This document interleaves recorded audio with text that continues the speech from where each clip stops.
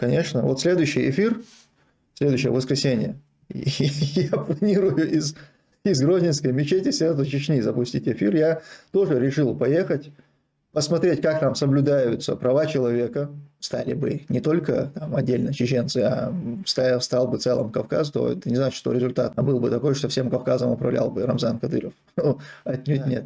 Все, тогда увидимся э, в мечети Сердца Чечни в следующее воскресенье. Э, всех приглашаю туда, Джамбет. Ты тоже приходи. Так тебя убили или нет, говорит. Как видишь, нет. Я жив и здоров. Аллаху.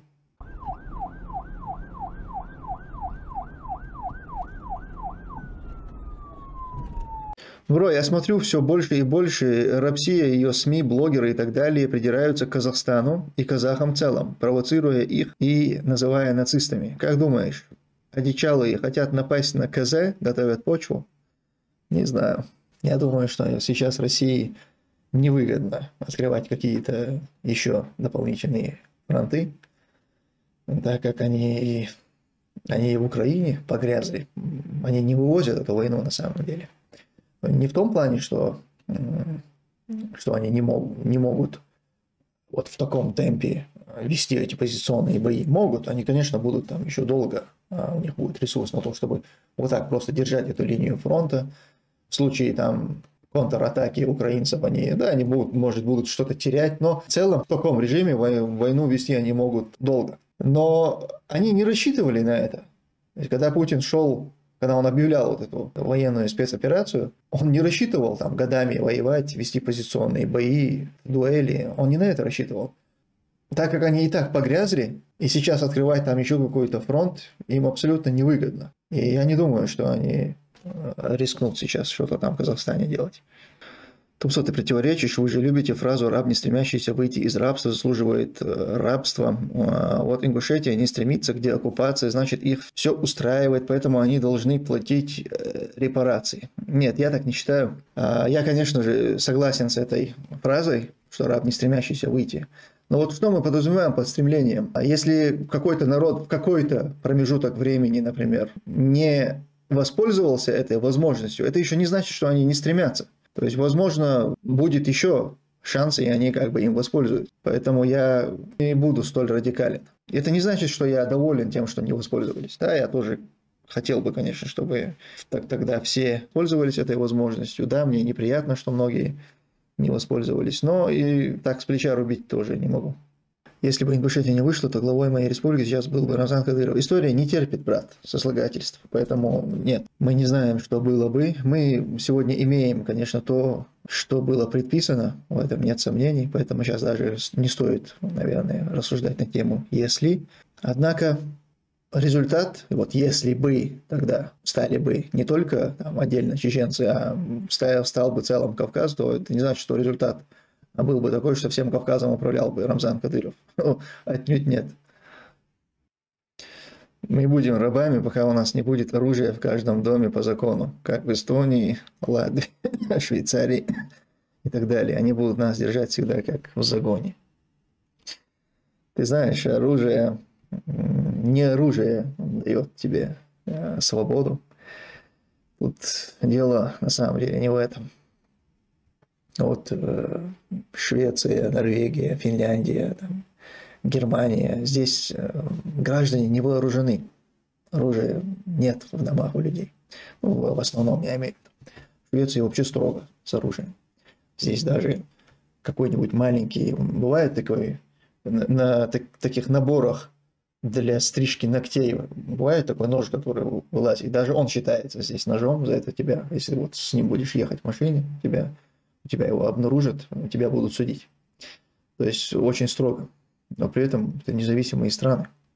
Томсон, скажи, пожалуйста, это разве справедливо винить всю нацию, якобы все за войну, если я против кровопролития? Нет, это неправильно. Вообще не, неправильно, но и вы должны понять, что никто не будет э, не возлагать ответственность на Россию только лишь из-за того, что там есть люди, которые против ну, друзья, это наоборот, вы должны здесь проявить понимание. И ваша страна нападает, именно ваша страна является врагом, поэтому здесь называют вещи своими именами. Но если кто-то говорит, что каждый вообще россиянин, все, кто там с российским паспортом, конечно, они не правы. Но когда они говорят, что Россия э, или, или называют русские, подразумевая не именно народ русский, а подразумевая как, как страну, вы должны понять, что в многих языках вообще нет такого разделения, как русский и Россия, как вот в русском языке. Россиянин и, русский, такого нет. Для э, американца, для, для любого англоязычного, такого нет разделения. Для них это Russian. Русский или россиянин, это одно слово. Поэтому вы должны, наоборот, к этому относиться с пониманием. Планируешь ли ты когда-нибудь приехать в Чечню? Еще как планирую. Конечно. Вот следующий эфир, следующее воскресенье, я планирую из, из Грозненской мечети Сердца Чечни запустить эфир. Я тоже решил поехать, посмотреть, как там соблюдаются права человека, что там, значит, происходит, совершают ли они там молитвы.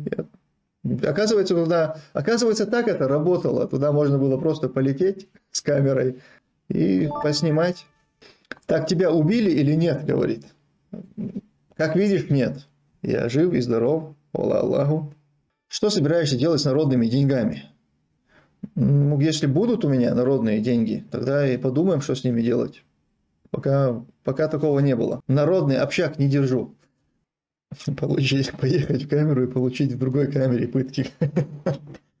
Но почему? Джамбетов же говорит, что все нормально. С флагом, говорит, Ичкерия прилетел, никаких проблем. Свободно, говорит, можно передвигаться. Я, я в общем, раздумье Джамбетов с Шалинской мечети провел эфир. Я думаю, с Грозинской, сердце Чечни, выйти в эфир. Ты с паспортом Ичкерии полетишь рейсом Стокгольм-Грозный.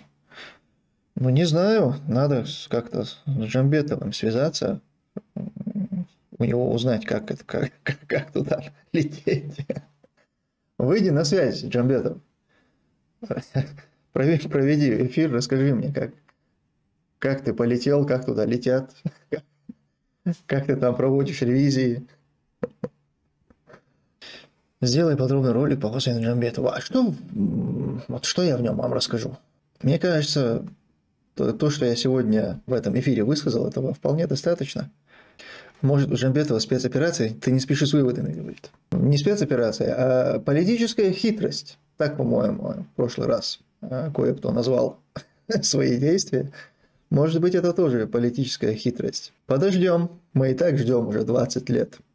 Подождем и дальше. Все, тогда увидимся э, в мечети Сердца Чечни в следующее воскресенье. Я всех приглашаю туда, Джамбет. Ты тоже приходи. Значит, выйду в эфир оттуда и расскажу, как соблюдаются законы, права человека, как соблюдается Коран и Сунна в Чечне, кто там является Мехкда, кто там Мехкнан, и, ну и так далее. Берегите себя и своих близких. Вся хвала принадлежит Аллаху Господу миров. Вассаляму алейкум ва рахматуллахи ва баракату.